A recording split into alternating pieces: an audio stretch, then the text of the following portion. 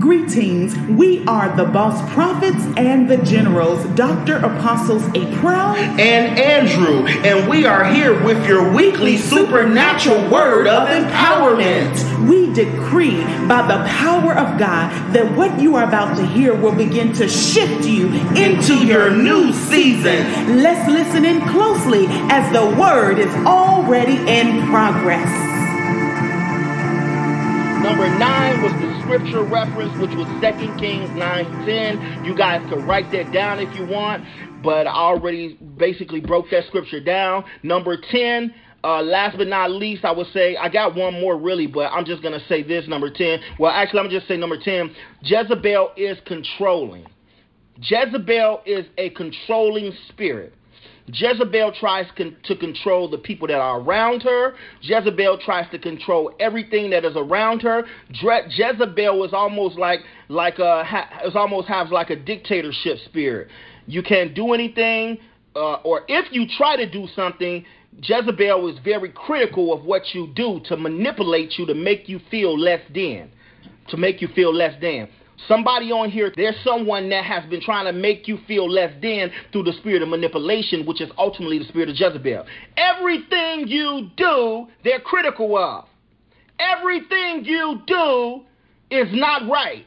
And they try to put on a display in front of others to make you become belittled. It's all a mind game.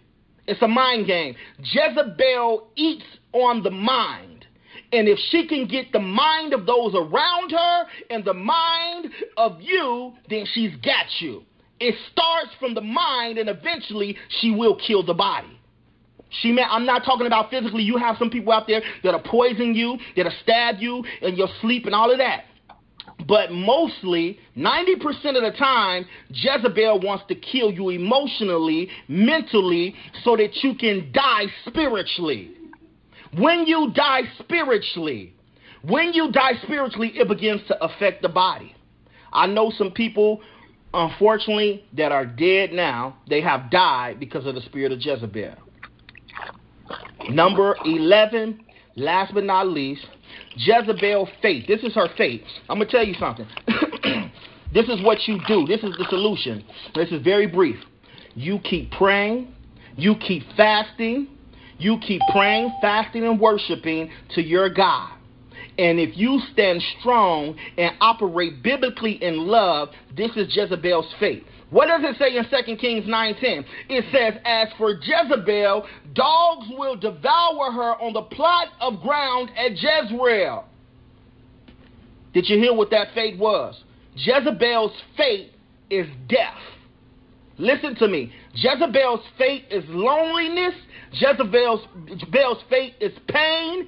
And eventually, Jezebel's fate is death. You can't keep coming against the prophet of God and think God is going to give you grace for that. The Holy Spirit told me I was in worship for about two and a half hours uh, a few nights ago. He said, Grace is running out. You see, we living in a day, we living in an uh-huh. age, people are operating in satanic spirits such as the spirit of Jezebel, and they're using the grace card. And that's okay. Because God has graces on grace on all of us. And the higher you up, the more grace you have. But eventually grace runs out. How do I know? Take a look at the graveyard. The Holy Ghost specifically spoke to me. He said, Grace is running out. You can't keep doing people wrong, manipulating people, beating people up, being critical of people. You can't keep doing that. That spirit will get you in the grave. So you Amen. out there in Facebook land, social media, it's about 18 people that I see that's dealing with this spirit. You stand strong. The Bible talks about fortitude. You have fortitude. You be unmovable. You keep praying. You keep fasting. It may seem like everybody in, in, in, your circle is believing this spirit and they're not coming and they're not supporting you. But check, I'm telling you, check this out. You got heaven and the angels that's supporting you. Did you hear what I said? Did you hear what I said? Some of y'all got some close people. The Lord is showing me right now. Some of y'all got some people that's close to you that operate that's operating in this spirit. This spirit is very dangerous, and you another way that you deal with it, not just through prayer and fasting, but and, and standing strong, but you, especially if you're a leader and it's in your church, you deal with it head on. You deal with it head on. Do not play with this spirit. Do not play with this demon. Deal with it, confront it, and cut it off. Because if you don't, it'll spread like a cancer. I've seen it split churches. Did you hear what I said? I've seen it split churches. The spirit of Jezebel also can be in married couples' lives. I've seen that as well. And I'm going to say this too. I'm going to say this. Any woman that is controlling to her husband, she has a spirit of Jezebel. Remember, read directly. Scripture tells us that Jezebel controlled her husband. That is the opposite of class. That is the opposite of womanhood. You don't have to be controlling to be a woman. That is the direct opposite. I can go deeper into that. That's not this teaching. That's not this class. But I have to say this because I feel like three people on here are dealing with that. You be strong. And if it's a and if if it's a um, couple that's listening, you guys quit that mess. Fast, pray, love on one another. Stop that, because I see divorces, and that's not what God wants for your life. Glory be unto God is a very, very strong spirit in the land. Uh, oftentimes we hear about the spirit of Jezebel, but we don't know how to confront it. We don't know how to deal with it. I ran down the characteristics of the spirit of Jezebel and I want you guys to really, really take note because even right now, as I was, I'm picking up right now spirits of Jezebel that you may be getting attacked by. Some of you all on here are dealing with that same spirit right now and you better confront it. Confront it, confront it, confront it in love, but confront it in boldness. Don't play with that spirit. That spirit is also attached to the spirit of Absalom. We don't got time to talk about Absalom, but you can do it. Do the uh, Bible study or Bible reading for yourself. If you know about Absalom, Absalom was King David's son, one of his sons, and he, the Bible says, he stole the hearts of the people. That spirit is a separation spirit as well, just like Jezebel. Um, Jezebel, when, whenever I'm just going to say this, a few brief things before I close out. Whenever a, the spirit of Jezebel is there, Ahab is always present. Whenever the spirit of Jezebel is there, or in your life or around your life, Ahab is always present. If you understand Ahab, the spirit of Ahab, that spirit is strong as well. I don't have time to go deep into that. I want you guys to do the studying and the reading for yourself, but understand that Ahab is always present, even with Jezebel. Number two, uh, witches witches operate in Jezebel's spirits very strongly. Witches operate in Jezebel's spirits very strongly. You may say, Apostle, I know somebody who operates like this, or you may be quietly sitting right now saying to yourself, Oh my God, I got some of those characteristics. Uh oh. Uh oh. I'm going to say something. I just want to let you know. If you are dealing with that deep inside, you have a loving master, a loving Savior named Jesus that can get you delivered even right now. It ain't Amen. nothing to be ashamed of. It ain't nothing to be ashamed of. But what you should be ashamed of is if you don't want to come out or if you don't want that spirit to come out of you. That's what you should be ashamed of. That's that's what you should be ashamed of. But the spirit of Jezebel, if you're dealing with it, God can cast it out immediately. Harabuku shata. Glory be unto God. Hallelujah, Jesus. I feel that spirit even now.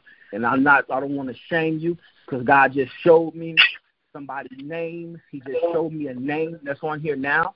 If you know, if you know how me and my wife operate, we operate very, very precisely in the realms of the spirit.